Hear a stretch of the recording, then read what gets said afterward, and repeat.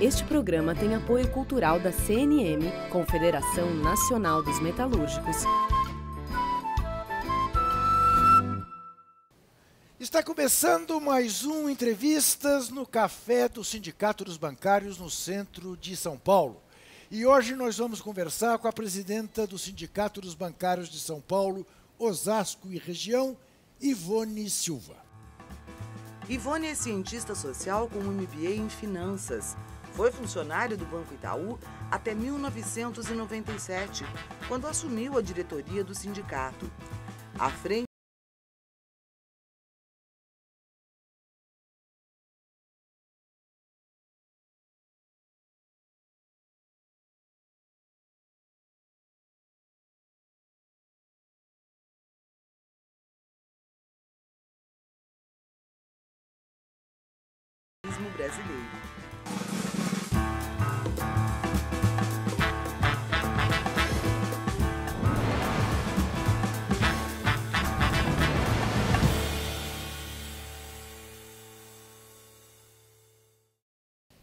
Ivone, muitíssimo obrigado. Vamos falar de bancos, vamos falar das trabalhadoras, vamos falar das reformas malditas que estão aí na pauta do dia, mas eu queria começar essa nossa conversa com você comentando uma frase de Bertolt Brecht. Diz ele que melhor que fundar um banco. Mentira. Diz ele que melhor que roubar um banco é fundar um banco. Isso é verdade. Estou honrada de participar do seu programa, que eu, eu adoro. honrado com a sua presença. Que eu adoro o programa. Uhum. Mas assim, é um programa maravilhoso e as entrevistas aqui são maravilhosas, né? Então, Muito tem obrigado. Vê, já vieram várias e assuntos atuais, né? Que a gente vê assim todos os dias e está realmente na atualidade. Bom, com certeza é muito mais. Ao invés de roubar, ter um banco, sim. Primeiro, se você for acionista de um banco, né? Se você tem lá as ações e de um banco, você não vai pagar imposto de renda no país. Isso devido ao nosso ex-presidente Fernando Henrique colocou a lei, né, que você não cobra imposto de renda na, nas ações dos bancos ou então se você vai lá tirar a parte do, do capital. Então já é uma grande vantagem. Não é à toa que tem banco aí que aumentou a proporção de que ele tinha que pagar para os seus acionistas, porque estava com tanto dinheiro em caixa que tinha que pagar, né? Outra questão é que se o banco também não foi lá, não emprestou dinheiro para ninguém, não tem problema, sobrou dinheiro no final do ano no fundo de caixa, ele vai lá, pega o dinheiro e compra títulos públicos, né? Compra títulos da nossa dívida pública e tem um rendimento sem fazer nada. Então, realmente é, porque o empresário com certeza vai ter que empregar, vai ter que fazer investimentos e nós vemos que nos bancos não tem realmente isso. E mais do que isso, né? Os bancos tirando os bancos públicos, eles não cumprem o papel social deles, que é realmente fazer investimentos aí no país. Né? Porque para que serve um banco, gente? É para você guardar o seu dinheiro e aquele dinheiro ser emprestado para uma outra pessoa. Né? E o que nós vemos nos bancos não é isso. Né? Então a gente vê que eles ganham realmente com os juros do, do país. Então isso é muito triste. Realmente fundar um banco é muito bom. Então eu vou querer que você comente uma outra frase, essa do escritor Mark Twain. Um banqueiro é um homem que te empresta o guarda-chuva quando está sol e toma quando chove. Também, né? Porque se você tiver um rendimento aí, você for um bom cliente, né? Você vai chegar lá, o gerente vai falar: olha, temos juros aqui a taxa menores do mercado. Vai ter juro de 0,99, 1, se o juros tiver 5. Se você falir, chega lá para o gerente, você não vai ter mais nem cartão de crédito, que a primeira coisa que eles fazem vão cortando todos os seus limites no banco. E aí não é culpa do bancário, né? Que muitas vezes o cliente vai lá na agência e começa a xingar o bancário. Gente, não é culpa do bancário isso, é uma ordem do do dono do banco, né? Do, do sistema do banco. Então, com certeza, você vai ter lá, não vai ter. Não tem essa de ser sociável, a não ser os bancos públicos, né? Que aí os bancos públicos têm linhas de crédito para casa própria, para agricultura. Para participar desta nossa conversa, convidamos Lucilene Bisfield Atude, secretária-geral do Instituto Observatório Social e diretora da CUT. Convidamos também a ex-ministra da Secretaria de Políticas para as Mulheres, a socióloga Eleonora Minecucci.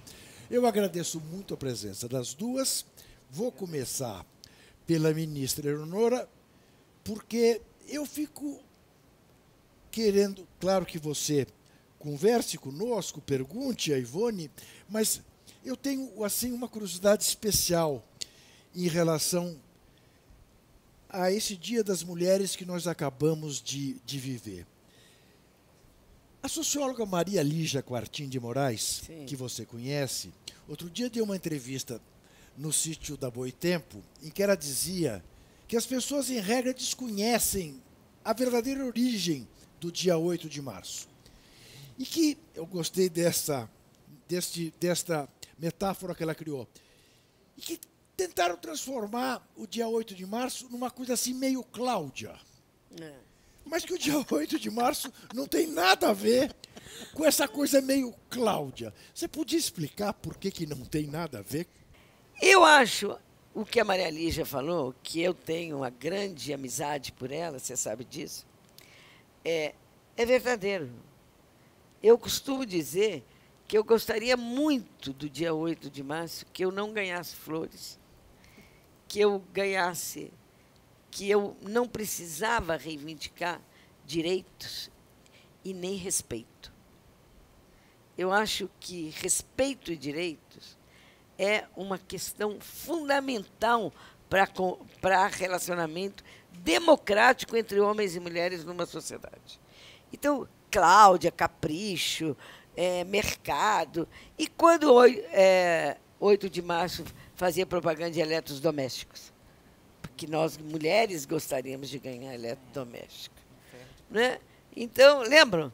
Então, e eu imputo a esta mudança é, ao movimento de mulheres e ao movimento feminista internacional. Porque mostrou que 8 de março é dia de luta.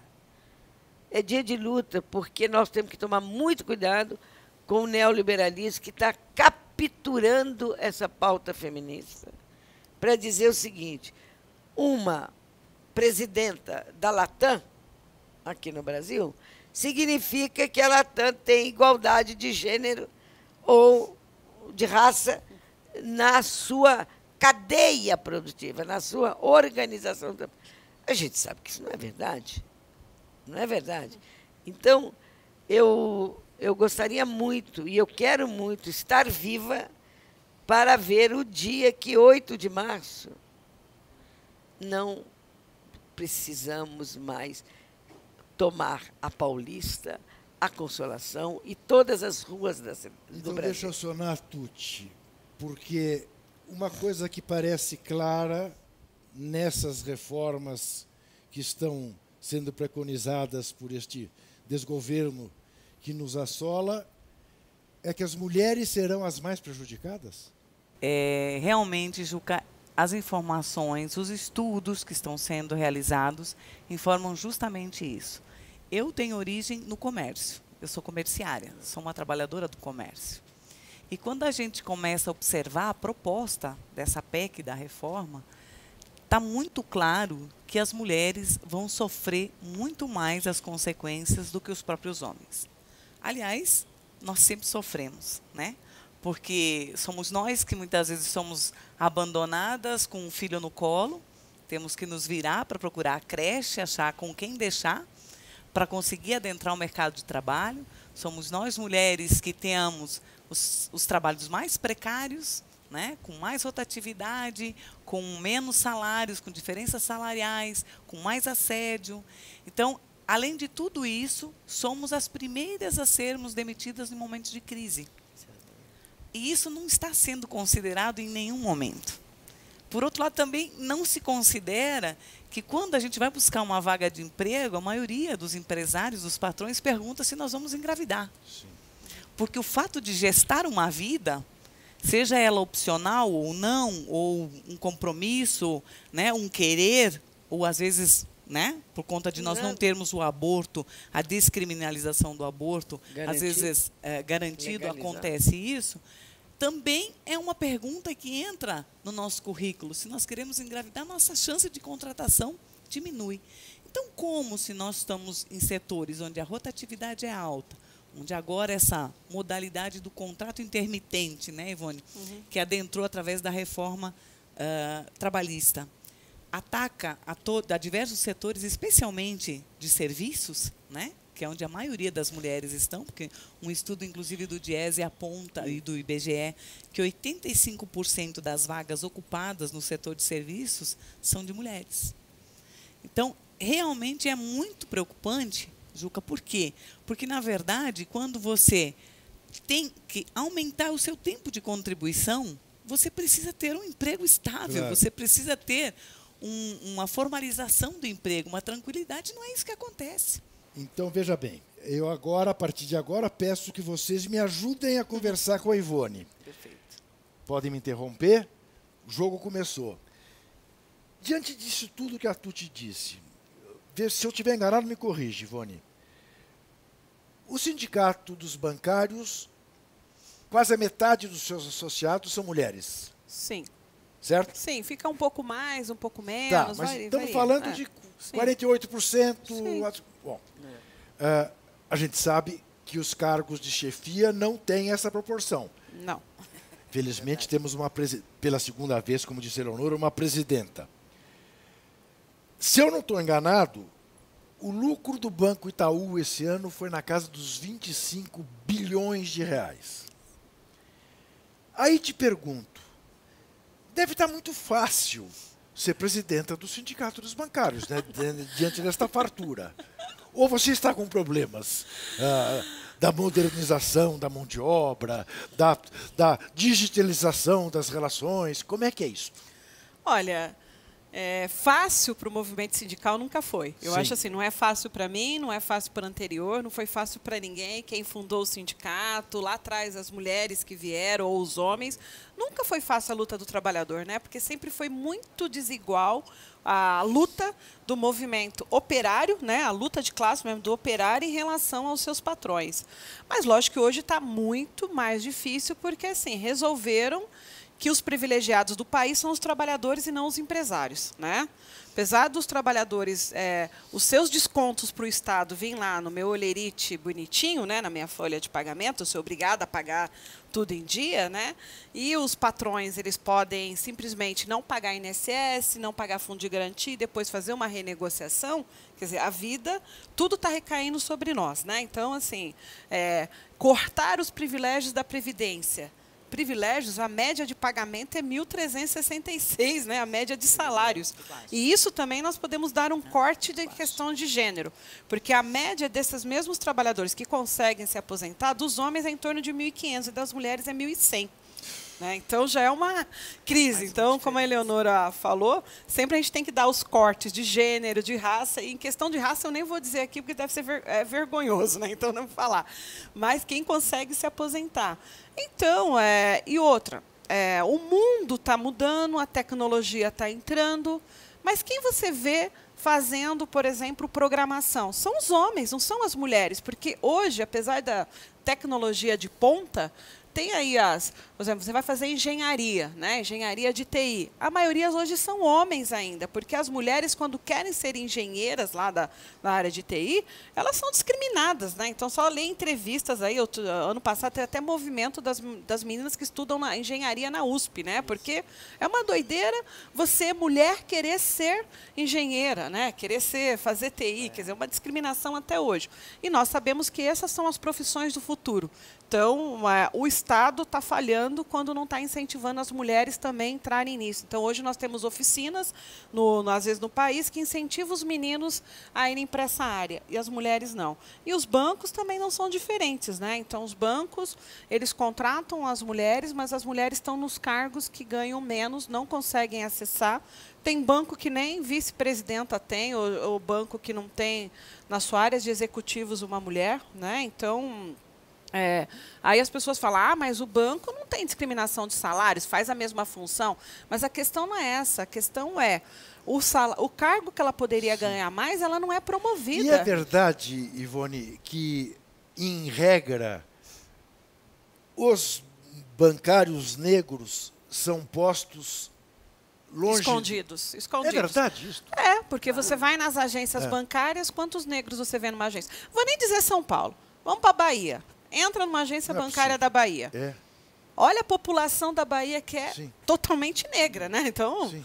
A maioria. Vai nas agências, você vai achar branco, não vai achar negro, né? E eles normalmente não estão na agência. E hoje, nós, nós já passamos por períodos, para mim, até vergonhoso, em que a mulher negra chegava na agência né, com o cabelo afro, né, ou a pele. A pele do- da mulher negra ela é mais oleosa. O, o gerente às vezes fala assim, vai lá limpar essa pele que está vergonhosa. Então, vá arrumar esse cabelo porque está horrível. Né? Hoje nós não vemos mais esse tipo de coisa porque as pessoas não têm coragem. Quer dizer, após esse governo, as pessoas começaram a ter coragem de novo, mas não Novamente. chegou nenhum caso no sindicato concreto disso. Né? Tá. Mas, mas já É, aconteceu mas isso, que, gente- que nós tínhamos que ir na agência defender as mulheres negras, né? porque elas queriam usar os cabelos afros e não podiam. Tinha que saber que cabelo com chapinha, né? alisado.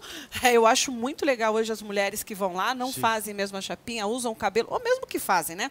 Importante é o seguinte, eu quero usar o meu cabelo do jeito que E- eu quiser. exatamente. Né? Não do jeito que me impõe.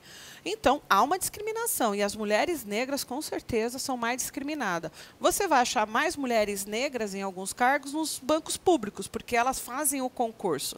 Mas na hora da promoção, porque aí não é mais concurso, não, você não vai ver também as mulheres nos cargos ou as mulheres negras. Né? Ivone, eu quero entrar nessa linha aí e introduzir uma, um aspecto que pouco tem se falado. Quem está adoecendo mais no mundo do trabalho por decorrência das consequências, dos impactos das políticas eh, neoliberais cruéis e desumanas? Tem um aspecto que eu quero muito que você diga, que me preocupa muito, é psicofísico, o psicofísico do trabalho. Né? O que, que o mundo do trabalho neoliberal, do neoliberalismo, além do medo, que é uma cultura perigosíssima desde Hitler, Mussolini, né? Eu tenho medo de sair na rua, eu tenho medo de... Além desse medo, o que que isso tudo tem adoecido? Quais são os grandes fatores é, e as, os grandes sintomas de adoecimento no mundo do trabalho? A Ivone vai responder isso no próximo bloco. E antes de eu chamar o bloco, eu quero ler mais uma frasezinha sobre bancos de um economista longe de ser considerado comunista, o Sr. John Kenneth Galbraith. A maneira como os bancos ganham dinheiro é tão simples que é repugnante. Até já.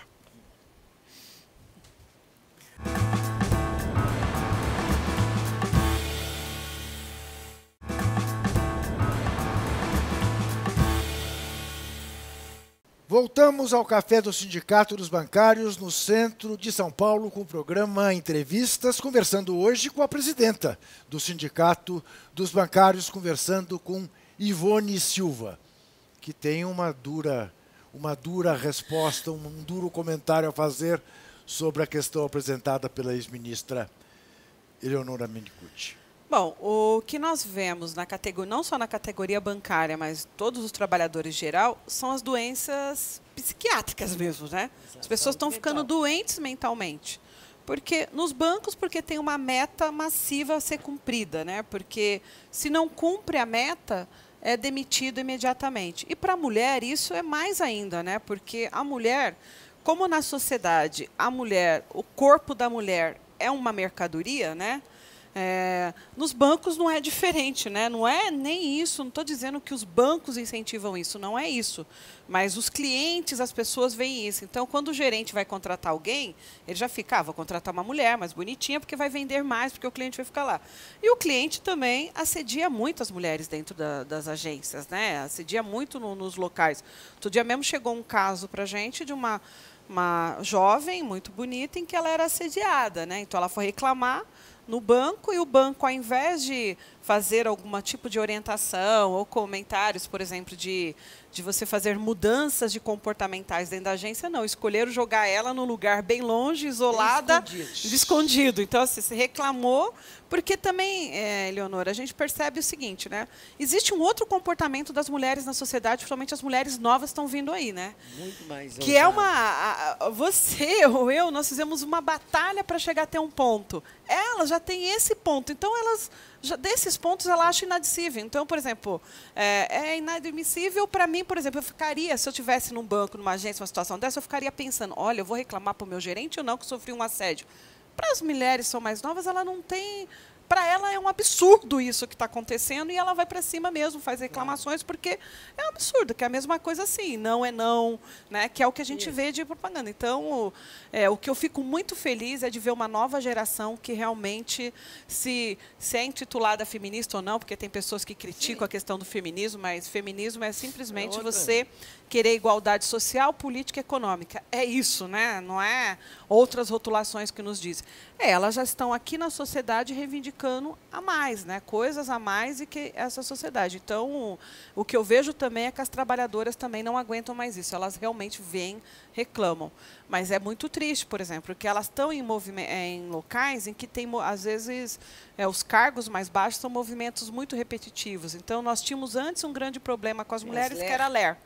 Né? E era um drama, porque a mãe não conseguia tem muitas vezes amamentar o filho ou segurar o filho Pentear o porque eram cabelo. dores, né? Pentear cabelo, fazer essas coisas. E agora não, elas são doenças psicológicas mesmo, porque o, o mercado, o mundo tem. E aumentou com a perspectiva da reforma da Previdência, Sim, né? Porque que penaliza as mulheres Sim, com essa capitalização terrível. Você não vai conseguir mais se aposentar, né? Pensar nisso, né? Porque eh, os bancos mesmo, nós estamos, eh, nós vamos fazer negociação com os bancos porque nós temos uma mesa de igualdade de oportunidades.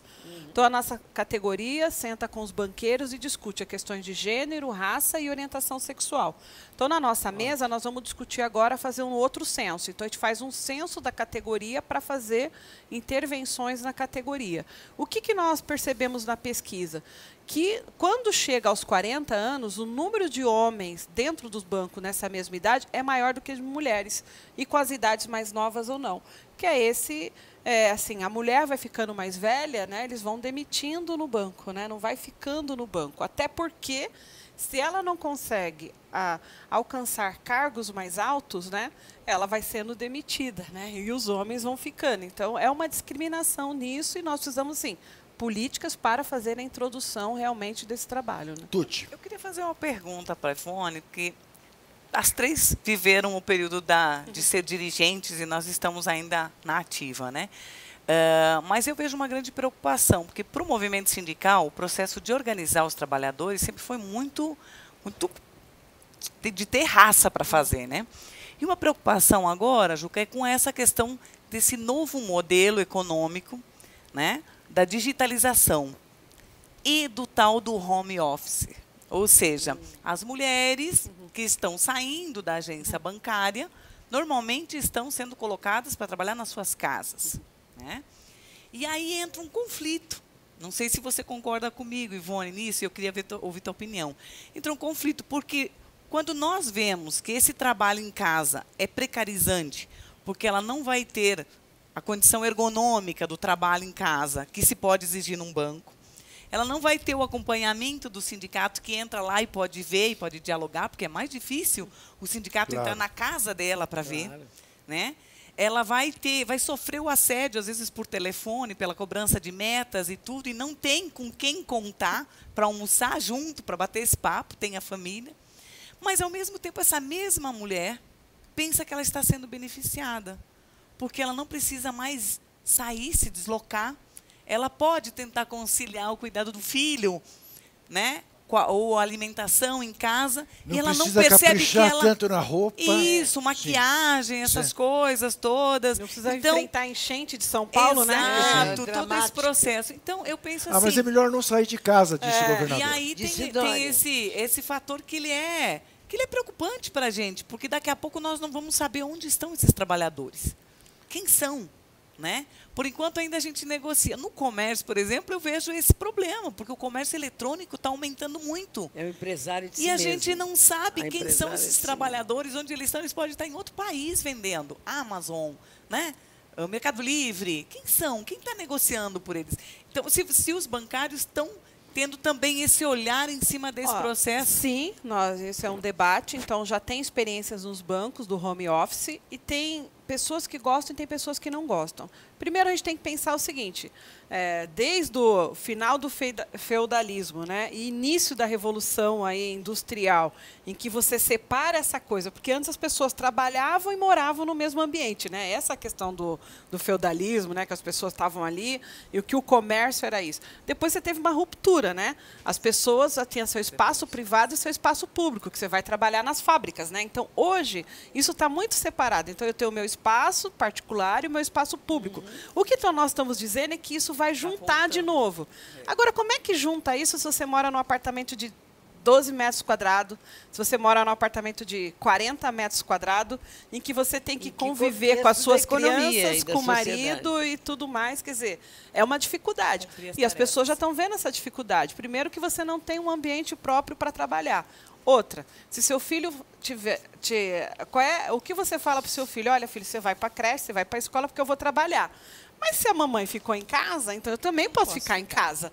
né? Então tem essa dificuldade. E se a mulher está em casa, por que, que ela não vai fazer a comida? E, E se a mulher está em casa, por que, que ela não vai na barriga, E né? mesmo assim ela vai ter abertas. Então o que a gente percebe é que a questão dos horários, se você não tiver horário rígido de trabalho, essa mulher provavelmente ela vai parar, vai levar o filho, vai fazer não sei o quê e depois vai voltar e vai ficar trabalhando até duas da manhã quando a família está dormindo, porque ela já fez tudo e vai. O que nós vamos ter que fazer é ter controles muito rígidos, se for se for acontecer isso. Né, de que realmente ela não, não extrapole Tem a jornada e que seja no muito, lugar. já. Tem, porque se você não tiver o controle, né? Porque como é que você controla a jornada fora? Hoje já tem mecanismos de fazer isso, né? Mas será que as empresas hoje elas fazem isso porque é obrigatório você ter o ponto eletrônico? E quando não tiver mais, como estão derrubando toda, tá a derrubando legislação, toda a vai ter uma, legislação, claro. uma carteira verde e amarela, vai ter ponto eletrônico? Vai ter então, fundo? Ivone, Vai ter a, a retirada de direitos como se deu no ano passado, ano retrasado, eh, teve alguma influência, por exemplo, no número de sindicalizados? No número de sindicalizados ainda não, né? mas você começa a perceber que tem uma mudança assim, dos, da mentalidade dos trabalhadores. Porque a gente tem que imaginar o seguinte: nós passamos aí, o governo Lula e Dilma, um bons anos aí tendo aumento real, tendo realmente aumento do salário mínimo, né? E que as pessoas, muitos trabalhadores da- dos sindicatos né, que estavam lá, nunca tinham passado por uma greve para não perder direitos. Né, nós passamos pelas primeiras ano passado, né, e nós fechamos um acordo sem greve, mas os banqueiros queriam tirar. E se não tivéssemos conseguido fechar esse acordo numa negociação, era uma greve para não perder direito. Olha bem, então faziam 14 anos que nós não sabíamos mais o que, que era no, ir para não ter aumento real, não ter aumento de categoria. Vai. Então, a- os, os trabalhadores olhavam os sindicatos como algo que assim não é tão importante na minha vida porque virou um automático. Hoje não. Né? Hoje a nossa, o que a gente tem ido conversar com os trabalhadores, eles já estão começando a perceber é, sem o sindicato eu perco os meus direitos. Né? Isso é imediato? Não. Isso vai aos poucos. Então a gente percebe que tem uma procura maior nos sindicatos em sindicalizar, porque eles percebem a importância dos sindicalizados. Né? E é por isso também que a gente percebe que agora é, não, fizeram a proposta para a reforma da Previdência e, co- e colocaram uma MP, que é 873, que retira aí que os sindicatos não podem fazer a- o Cobrança. desconto da cobrança das Folha. suas Do imposto contribuições. Porque, lógico que no momento de crise, os sindicatos, você está junto, são, é um movimento que realmente consegue barrar isso. Né? Então, lógico que nós vamos ter toda, toda essa mudança do mundo do trabalho, mas os trabalhadores entendem isso, sim. Eles vão procurando os sindicatos. Né? Acoplado ao fim do imposto sindical, da contribuição sindical, tem agora a questão do boleto bancário, né? Boleto Sim, que é a SMP 873, que eles dizem, ó, se você Que for fazer uma é contribuição, que fazer por né? boleto. Isso. Que é um absurdo, né? É uma. Eles se dizem liberais, né? É, é assim, o governo ele é liberal para os empresários e 1% mais rico da população. E ele é extremamente quer tutelar e quer acabar com todos os outros movimentos, né? Porque você em- obriga o sindicato a se enquadrar no que eles querem. E nós pregamos o seguinte: nós temos que ter uma liberdade sindical. Então eu tenho que organizar a minha base e é o meu financiamento do jeito que eu quiser. Os trabalhadores querem, né? Então nós aprovamos em assembleia todas as contribuições. E por que que nós não podemos fazer agora? E não fomos só nós, foram todas as categorias que estão fazendo isso. Então é uma interferência realmente no momento que eles querem passar a questão da reforma da previdência, né? É, Então inclusive, uma contradição, né, É. Ivone? Porque, ao mesmo tempo que eles afirmavam que tirar da, da legislação ia fortalecer, porque ia ter o negociado sobre o legislado. Agora Ou faz o seja, inverso. agora Chega é lá e vai de novo, faz uma É, nova lei Agora, o que está sendo negociado, o que está É. na convenção coletiva, o que é estatutário, não está mais valendo. Então, no final de contas, o que está valendo nesse É. negócio aí? Porque está muito complicado.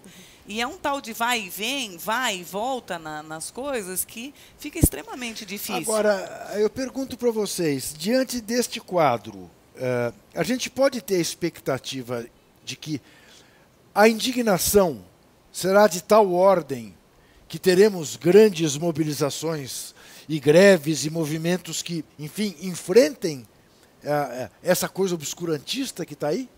Na minha opinião, sim. É? Né? Porque. Você sente isso?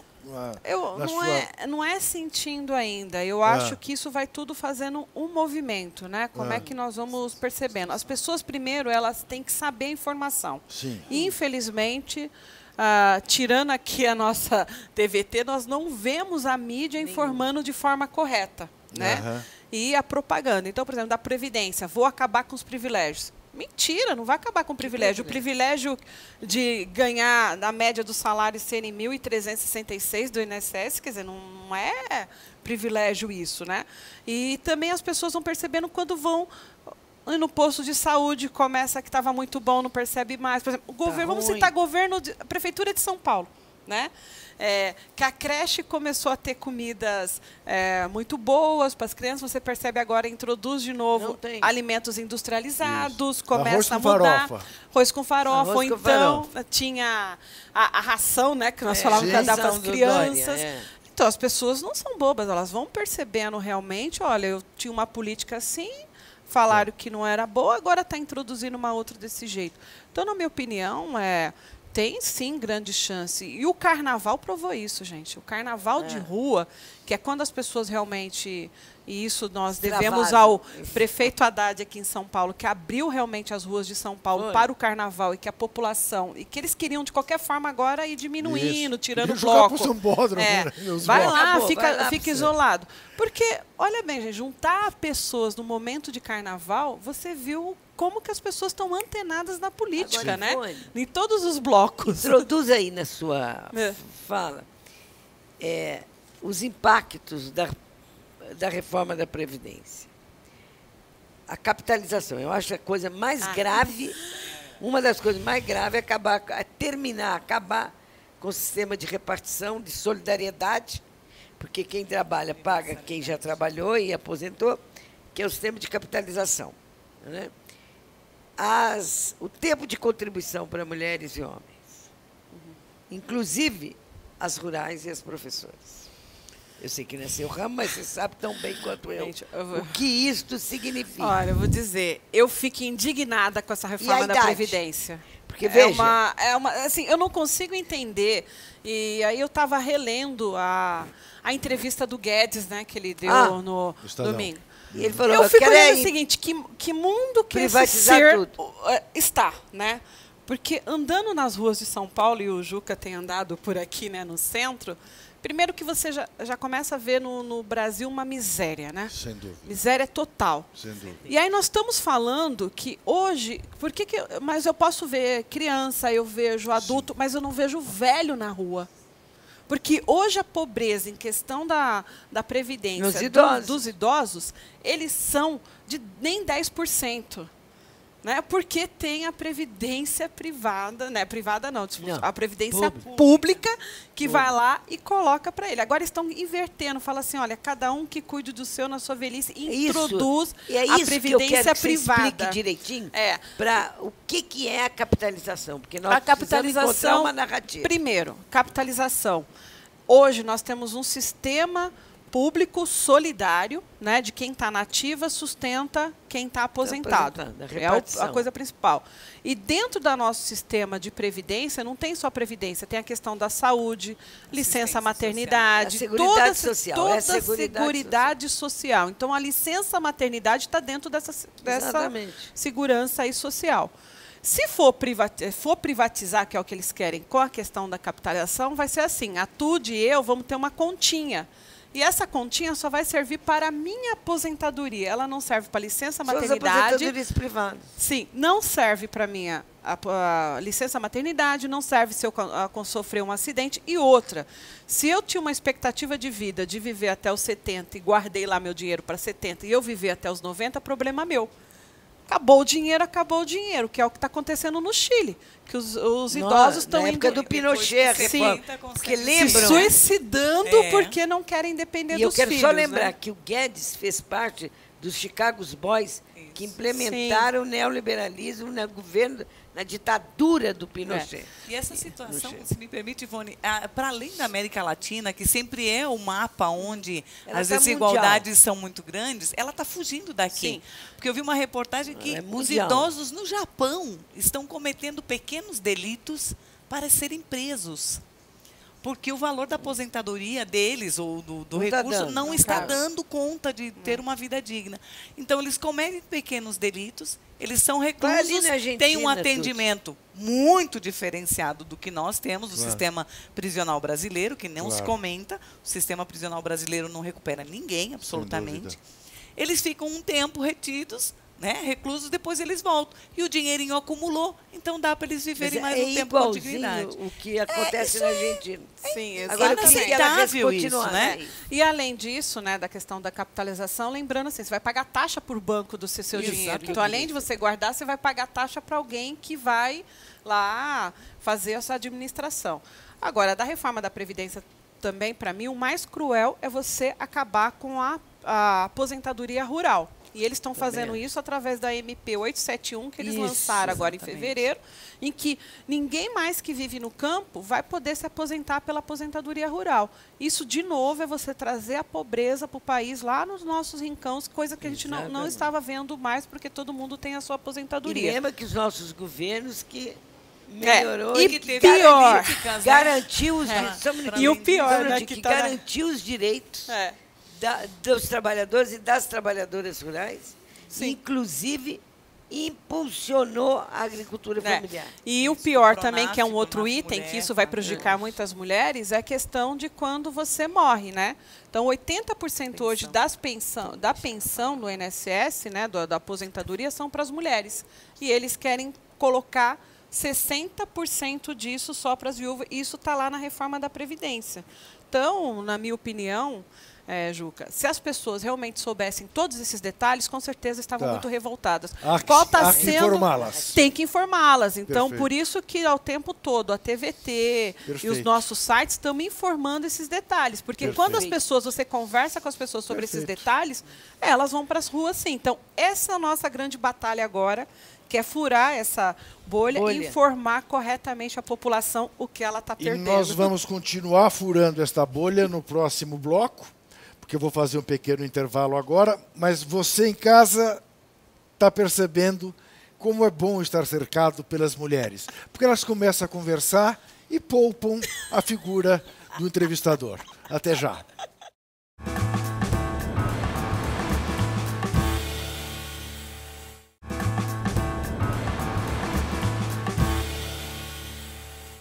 Estamos de volta ao Café do Sindicato dos Bancários, no centro de São Paulo, com o programa Entrevistas, conversando hoje com a presidenta do Sindicato dos Bancários de São Paulo, Osasco e região, Ivone Silva.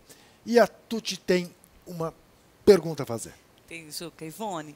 Uma das preocupações com essa nova proposta da capitalização para a questão da Previdência que esse governo está propondo, que para mim é um desgoverno, que só tem feito coisas absurdas, existe a preocupação em 2008, nos Estados Unidos, que é o grande país imperialista, houve uma crise imobiliária, onde os bancos quebraram, literalmente, né? e gerou uma crise mundial. Dentro dessa perspectiva da capitalização, sair de um sistema solidário, que é hoje a nossa Seguridade Social, e ir para um processo de capitalização que é nada mais que uma poupança individual. Se esses bancos quebrarem, como é que fica essa capitalização e essas pessoas que pagaram a sua a sua aposentadoria? O governo não diz, né? Mas com certeza eles vão ficar com prejuízo. Que é isso, por exemplo, que acontece, como você citou, os Estados Unidos. Lá os trabalhadores têm os fundos deles que eles criam.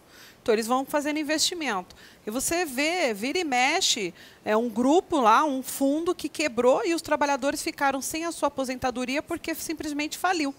Né? Então, vão ficar sem nada. Hoje vale o Estado é o garantidor. Né? E nós estamos falando que vai colocar instituições que e, e, a longo prazo. Nós estamos falando aqui de 30, 40 anos você guardando o seu é dinheiro em algum lugar. Né? Então não é simples assim. E não dá para ser embaixo do colchão também, né? É. Mas precisa ter um lugar seguro. Né? Exatamente. Né? Vai não ter que ser um sistema, vai ter que ser no sistema bancário. Aí como é que eles vão fazer? As seguradoras quebram, com certeza. Mas aí eu vou ter que recorrer de novo às minhas frases, que eu colecionei, trouxe aqui. Tô vendo é, que hoje você tá bom nas não, Ivone, Ivone, veja bem. Veja, esta frase é do senhor Henry Ford. É. Não estamos falando, de novo, de nenhum líder esquerdista, nenhum petralha. Diz ele: que bom que as pessoas da nação não entendem nosso sistema bancário e monetário. Porque se entendesse, acho que haveria uma revolução antes do amanhecer. Com certeza, eu já citei aqui. eu já citei, por exemplo, o caso dos bancos hoje, boa parte do lucro deles ser com os títulos da nossa dívida pública, né? Sim. Que isso é 42% do nosso orçamento. Então nós estamos dizendo que a gente gasta quase metade do nosso orçamento pagando juros para alguma instituição financeira. Isso. isso é um horror. Né? Então, por isso que as pessoas não aprendem isso na escola, né? ou mesmo isso não é comentado nos jornais mas, a todo momento. Mas eu me lembro, Ivone, que no programa do Haddad, uh, ele falava em, digamos, ampliar o leque da nossa rede bancária. Ele citava, não me lembro exatamente qual é o número, nos Estados Unidos tem mais de 3 mil e tantos bancos, não me lembro se o número é esse, se é mais de mil ou de 3 mil. Mas nós aqui, na verdade, temos cinco. Sim, cinco grandes cinco bancos grandes que concentraram tudo, porque um foi comprando o outro, né? Sim. É. Foram acabando os bancos. Nós só temos cinco. Então não tem concorrência. E se você for, as taxas de juros praticamente é iguaizinhas. Sim. Ou você vai pagar o pacote ali de, né? de serviço praticamente igual. Realmente não tem concorrência no, no país. E mais do que isso, né? Nós não vemos os bancos fazerem o papel deles, que é realmente emprestar e dar crédito. Então, se você não for realmente o um empresário que tenha uma renda assim enorme, você não, não vai ter crédito. da população. Não, 1%. Aí, aí e é... aí também é o seguinte, não há interesse de trazer as pessoas para dentro dos bancos, né? Então, hoje, boa parte da população não tem conta em banco. Tem não. Não tem. Pois então. Porque, na verdade, não pois tem aí... nenhuma agência perto da casa dela para ela poder é. ter uma... Mesmo São Paulo, Juca. Olha bem, quem hoje foi para a periferia e estendeu as suas agências foi a Caixa Econômica e o Banco do Brasil. Que o restante cortando. dos bancos, você vai na Zona Sul, você tem que, às vezes, pegar duas conduções para achar uma agência bancária. É. Inclusive então, não estamos falando lá no Nordeste, nós estamos falando São Paulo. É. Onde você acha agência bancária? Aqui, ó, na área central. central Saiu daqui, Zona Leste, zona fundão da Zona Leste, fundão da Zona Sul, você não acha uma tá. agência bancária. Pois Oi, é, mas ent então aí o, o, Bob Hope, tá. ator americano, dizia que o banco só te é útil quando você prova para ele que você não precisa dele. é isso mesmo. é isso mesmo. Agora, por que, que você chega na porta do banco? Você precisa dele. Mas aí, o, que nós, o que nós fazemos, né? Nós queremos realmente que os bancos tenham essa lógica, que é emprestar dinheiro, fazer crédito realmente para a população, que a população realmente possa usar os serviços dele. Porque imagina uma cidade, Juca, que não tem uma agência bancária. O, aí a pessoa vai receber hoje, né, porque ainda recebe, que não passou reforma da Previdência, sua aposentadoria. Então ela mora na cidade X e vai receber a sua aposentadoria na, no, na Y.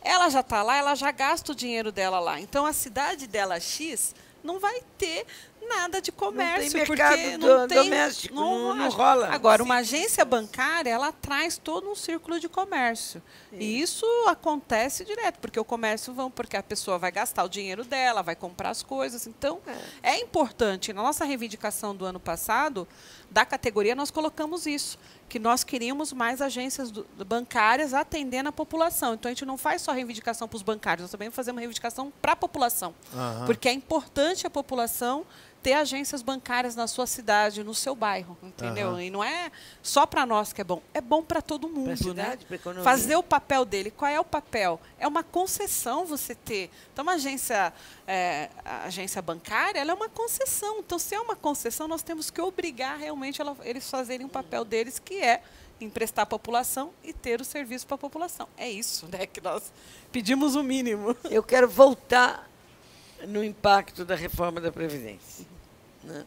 Porque eu acho que esse espaço é privilegiado para gente, para nós debatermos e você falar. É, o tempo de contribuição. Veja, é, as, os homens, é, eles começam a trabalhar fora, fora de casa, né? enquanto as mulheres ficam dentro de casa. As mulheres entram para o mercado de trabalho um pouco mais tardiamente do que os homens. Portanto, para elas se aposentarem, e aí, portanto, contribuem mais tardiamente com a Previdência Social, e para elas aposentarem, elas é, integralmente, para chegar aos 40 anos, a maioria aposenta com 60, 65 e 18 anos de contribuição. 15 a 18 anos. Bom. Esse é o impacto dramático. O outro, rapidamente. O outro é a capitalização. Porque você, vocês, a Duca falou do, dos bancos com muita propriedade. Mas eu falo do lado da trabalhadora e do trabalhador, e do cidadão e da cidadã. Como é que ela vai fazer a sua aposentadoria se ela não tem salário? O salário está precarizado, está intermitente. Como é que você vê isso? Como é que você pode explicar para a sua categoria esses impactos na mulher rural que trabalha de seis a seis, seis da manhã a seis da manhã, e no sol a pico? A pique. Bom, primeiro que a gente tem que pegar já os dados de hoje, né? Então, é, quem consegue se aposentar hoje, né? Que tem lá o seu recolhimento, que consegue ter uma carteira formal de trabalho, entre esses que se consegue se aposentar, em torno de 68% desse público, né, são a, as mulheres, elas se aposentam por idade e não por tempo de contribuição. Tempo de contribuição. Olha a Quando você inverte isso por tempo de contribuição, os homens, eles são quase 70% que se aposentam por tempo de contribuição. E aí nós estamos dizendo por vários fatores. Primeiro, ela fica muito mais tempo desempregada. Outra, o companheiro não quer que ela trabalhe, né? começa a perseguir ela no emprego, ela é obrigada a largar o emprego a e ficar em jornada. casa, porque ele não quer que ela tenha dinheiro para poder enfrentar todo esse machismo que nós vemos na sociedade. Ela também ela é, teve filho, ficou de licença maternidade, ela volta para o trabalho, tem a estabilidade, ela é demitida. Né?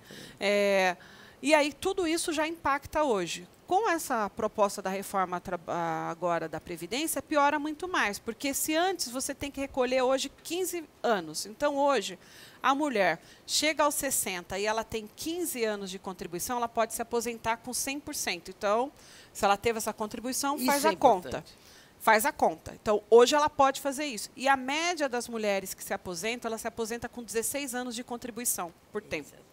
Por contribuição. Aí agora, não, eles querem aumentar para 62. Primeiro que eu preciso trabalhar lá até 62. Depois eu vou ter que contribuir por 20 anos. Se hoje a mulher, já no mercado de trabalho, a média, já contribui com 16 anos, ela nunca vai se aposentar por tempo de contribuição. Jamais. Ela vai só por idade que vai ser os 62. E mais, ela vai chegar nesse tempo, aí as pessoas estão achando integral. que é 100%. Não, é 60% do- e aumenta um ano a cada. Então, na verdade, se ela quiser se aposentar, ela vai ter que trabalhar em média até 70 anos para poder ter 100%, 100% E a da maioria. por morte 60%. e por invalidez, que eu acho fundamental. 60% ela vai receber. E aí, nós e temos. aqueles 10% por cada filho? Então, se ela tiver um filho menor de, de, de, de idade, ela vai 18. receber 10% cada filho. Se não, ela vai receber só 60%, 60%. Da, da. E mais, né? Ah, também nós temos o BPC. A maioria, Benefício 80. de prestação continuada. Nada, que são para as pessoas de extrema pobreza. 83% nossos desse pagamento são para as mulheres, Juca. Né? 83%. Agora, com a reforma da Previdência, se essa mulher que está Acaba. na extrema pobreza, ela tiver uma casa em nome dela, do Minha Casa Minha Isso, Vida, não porque direito.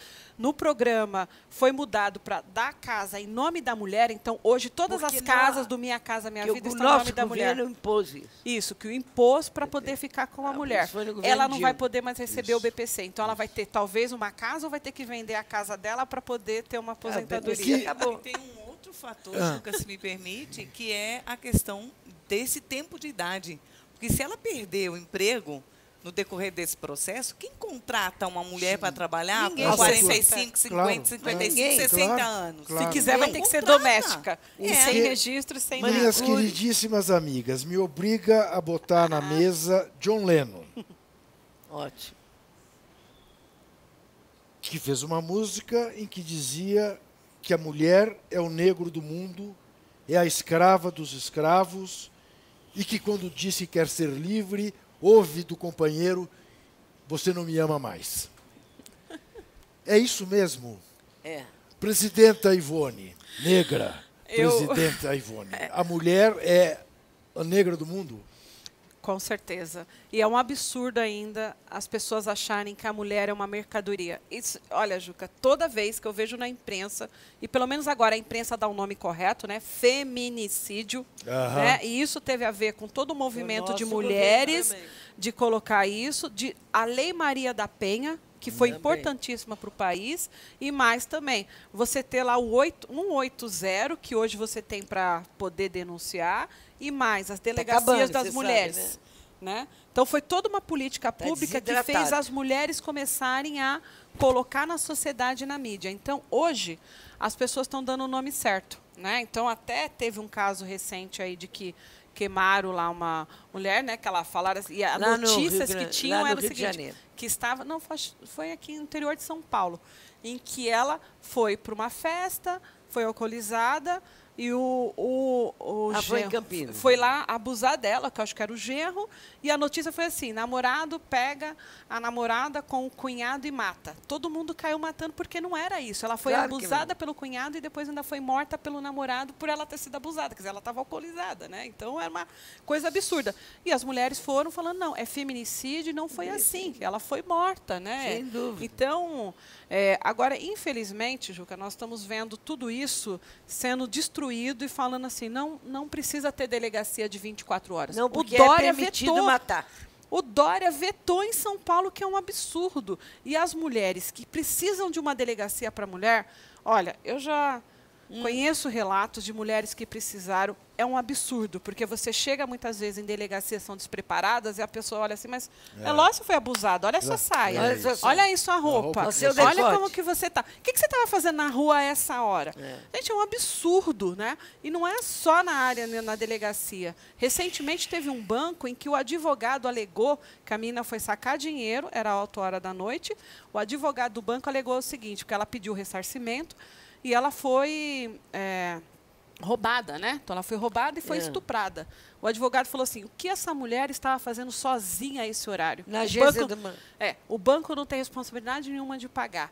Ou seja, a mulher agora tem que sair, então ela tem que ter um homem do lado dela para tutelá-la. Então, é, eu fico indignada Só quando eu vejo tudo isso, porque é um absurdo. né? Contribuindo aí com esses exemplos, aquela do Rio, que o, o namorado que ela conheceu na internet foi, transou e a- a agrediu e espancou durante quatro horas.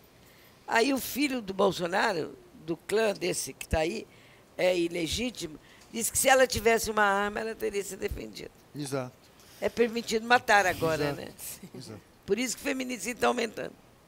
E um, e um detalhe, a- além desse aumento assustador do feminicídio, está muito forte o requinte de crueldade. Sim. É muito triste ver os, os- os- os É que- parceiros aí é que matando geral, na frente né, das crianças. Liberou geral, meu. Liberou geral, é, né, é uma Tuti? coisa Liberou que, geral, é assim, permitido. É óbvio que é horrível e, é, e, e as pessoas têm que começar É a isso. perceber que não é isso que vai resolver. Nunca foi. É isso. Não, Nunca liberou. foi botar arma na mão de uma pessoa Quando- a forma de resolver liberou, a né? violência. Medida provisória. Exato. Quando, Um alguém, isso. quando alguém diz numa campanha presidencial, vou, Na praça, vou metralhar os petralhas, na Avenida Paulista. Tá dando, tá tá dando, dando- toda a margem. está dando espaço para que essa coisa, para que essa coisa surja. Mas nós vamos continuar nas ruas, vamos no continuar. movimento Denunciando. sindical, Nós- denunciando Sempre. e fazendo com que volte tudo isso sim, porque não adianta mesmo assim esses homens retrógrados achar que nós vamos voltar para casa lavar roupa e cueca dos homens. Nós E não eu- vamos Jamais. fazer isso. E eu prometo, Nunca. e eu prometo que no próximo programa que nós tratarmos do tema, eu também virei de saia. Muito bem, Tá muito muito bem. bem? Tá? Muito Roupa não tem nada a ver com a questão, né? Eu agradeço muitíssimo a presença de vocês três, foi muito legal, foi muito bom, acho que foi esclarecedor. Lembro que você pode ver este programa a qualquer hora no Facebook e no YouTube, na TVT, e que quinta-feira que vem, 10 horas da noite, estaremos aqui de novo, mais uma vez, contando com a sua assistência lembrando sempre que desesperar jamais.